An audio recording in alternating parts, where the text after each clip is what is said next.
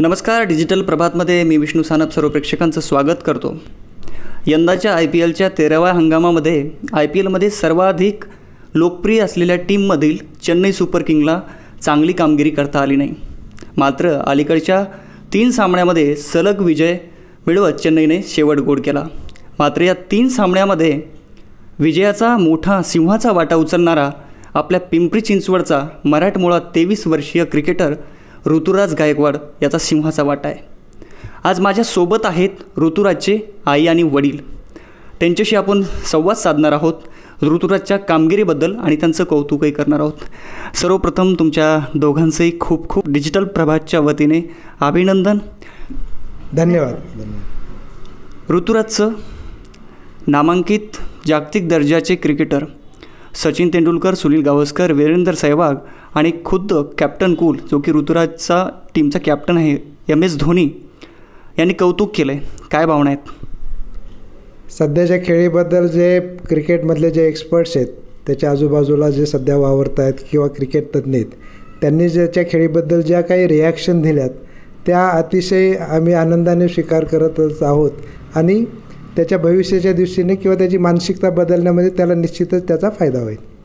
ऋतुराजची आई आपल्यासोबत आहेत. काय वाटतं तुम्हाला? मोठे मोठे क्रिकेटर ऋतुराजचं कौतुक करतायत तुमच्या मुलाचं? काय भावना आहेत? आनंदच होणार ना. शेवटी मुलाच्या यशामध्ये आईवडिलांना पालकांना आनंदच होत असतो. तसंच आम्हाला त्याचा खूप आनंद आहे. अभिमान आहे. नक्कीच महाराष्ट्राला देशाला अभिमान आहे ऋतू ऋतुराजचा. पण आय पी एल सुरू होण्याआधी ऋतुराजला कोरोनाची लागण झाली होती आणि त्याच्यानंतर आय पी एल अगदी तोंडावर आलं होतं. त्यावेळेस ऋतुराज तुमचा तुमच्याकडे नव्हता. ऋतुराज यू ए ईमध्ये होता विदेशात होता. त्यावेळेस एक आई म्हणून आणि बाबा म्हणून तुमच्या मनात काय विचार सुरू होते तेव्हा? आता करोनासारखा आजारच आपण सगळीकडे पाहत होतो कसा आहे तो म्हणून खूप काळजी वाटत होती. आणि परंतु नंतर त्यांनी आम्हाला सगळ्या गोष्टी तिथल्या सांगितल्या. आणि सगळे त्याला खूप तिथं सहकार्य करणारे होते. त्याचे टीमचे सगळे. त्यामुळं आम्हाला एवढी नंतर नंतर मग थोडंसं आम्ही रिलॅक्स झालो त्याच्यातनं. नाहीतर अगोदर आम्हाला खूप त्याबद्दल काळजी वाटत होती. दरम्यानच्या त्या काळामध्ये ऋतुराजसोबत बोलणं झालं होतं का?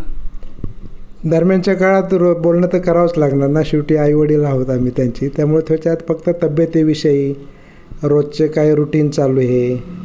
बाकी के त्याला सपोर्ट वगैरे कसे करतात त्याबद्दल थोडीशी सविस्तर चर्चा करत होतो आम्ही. त्यामुळं थोडंसं काळजी कमी होत गेली होती. आणि थोडंफार त्याच्याबरोबर बोललं त्याची एक मानसिकता बदलतच होती ना. कारण या आजाराची नाही म्हटलं तरी त्या काळात थोडीशी भीतीदायक वातावरण होतंच ना पुणे शहरामध्ये किंवा पूर्ण जगामध्ये भारतामध्ये. त्याच्यामुळं थोडी काळजी तर होतीच आम्हाला. परंतु एकमेकांशी संवाद साधल्यानंतर त्याचीसुद्धा मानसिकता बदलत गेली आणि कोरोनावरती मात करत गेले. त्याचे मामा आहेत ऋतुराजचे. ते दोघं बी एक्सपर्ट डॉक्टर आहेत. डॉक्टर गणेश सातव आणि डॉक्टर सारिका सातव. त्यांनी त्याला खूप सपोर्ट केला त्या काळामध्ये त्याची मानसिकता बदलल्यानंतर. डे टू डेज लाईफ कसं ठेवलं पाहिजे त्या काळामध्ये? त्यांनी त्याला खूप सपोर्ट केला. त्यामुळे आम्ही थोडंसं चिंतामुक्त होत गेलो हळूहळू. ऋतुराजनी अलीकडच्या तीन सामन्यामध्ये अर्धशतकाची हॅट्रिक पूर्ण केली.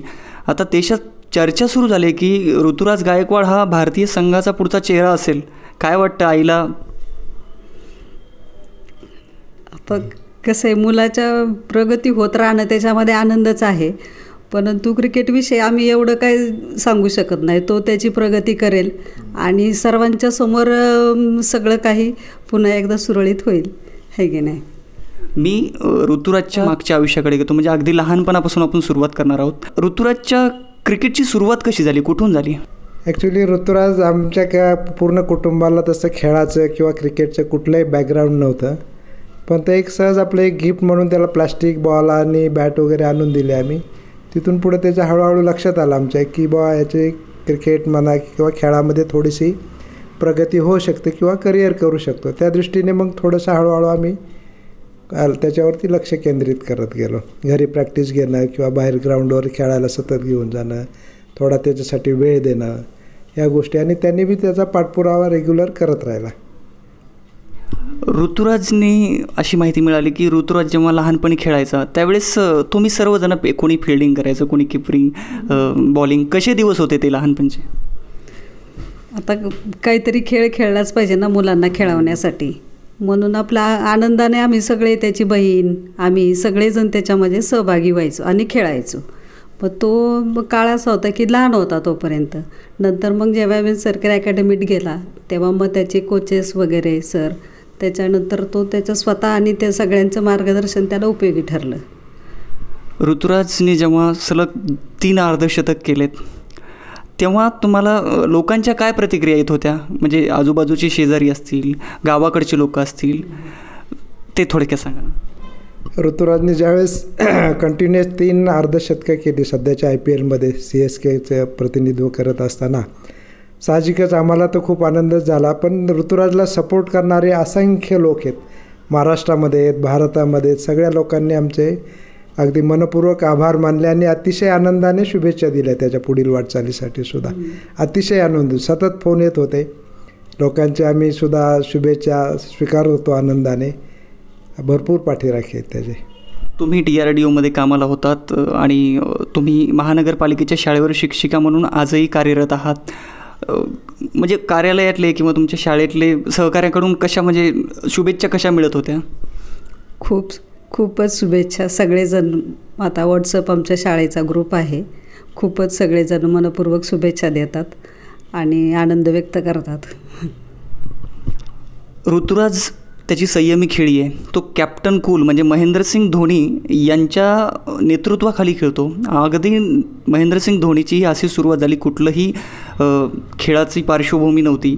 एक गरीब कुटुंबातला मुलगा नावारूपाला आला. तशीच काही ऋतुराजची ही म्हणजे परिस्थिती आहे. स्वभाव कसा आहे ऋतुराजचा? तसं कौटुंबिक आमचं जर वातावरण पाहिलं तर घरामध्ये आमचे सर्वजण शांत आहेत स्वभावाला. मोजके बोलणार आणि तोलून मापूनच बोलणार आहे त्यामुळे ऋतुराजमध्ये सुद्धा ते गुण उतरलेले आहेत साहजिकच. तो सुद्धा अतिशय घरात शांत असतो. शांत पद्धतीनेच आम्ही एकमेकांशी संवाद साधत असतो. बस.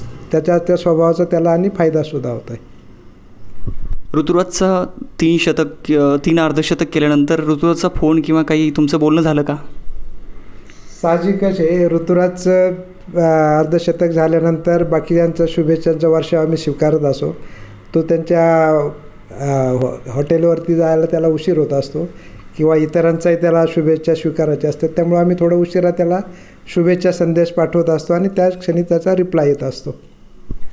ऋतुराजचं कौतुक अख्ख्या जगातून होतं आहे तुमच्या ऋतुराजचं आपल्या ऋतुराजचं मराठमोळ्या पिंपरी चिंचवड आणि पुण्याचा ऋतुराज आहे. सर्वांसाठी अभिमानाची गोष्ट आहे. काय अपेक्षा करता ऋतुराजकडून भविष्यात तुम्ही?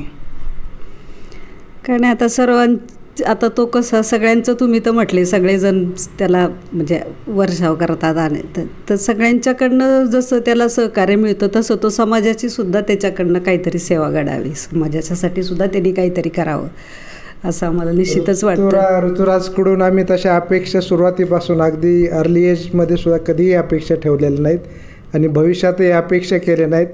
एन्जॉय द क्रिकेट लोकांचं तुला लोकांना सुद्धा एन्जॉय करू दे तुझ्या खेळामुळं. बस that's all that is more than sufficient for us Ruturaj हा खूप मोठा व्हावा भारतीय संघ त्याची वाढ बघतोय. भारतीय संघामध्ये त्याचं नक्कीच सिलेक्शन होणार आहे. आणि व्हावं अशा डिजिटल प्रभातकडून आणि व्यक्तिशा माझ्याकडून खूप खूप शुभेच्छा आणि तुमचं पुन्हा एकदा अभिनंदन आणि धन्यवाद तुम्ही आम्हाला मुलाखत दिल्याबद्दल. हे होते ऋतुराज गायकवाड यांचे आई वडील जे की त्यांनी सांगितलं की ऋतुराजची ह्या खेळीमुळं आम्हाला तर आनंद झालाच. मात्र सर्व देशवासियांनाही या गोष्टीचा आनंद झाला आणि विशेष करून पुणे आणि पिंपरी चिंचवडकरांना याचा सार्थ अभिमान वाटतो. ऋतुराज गायकवाड हा भारतीय संघामध्ये याची निवड व्हावी यासाठी डिजिटल प्रभातकडून त्याला खूप साऱ्या शुभेच्छा. सहकारी मित्र निलेश महाडिकसोबत मी विष्णू सानप. डिजिटल प्रभात पुणे.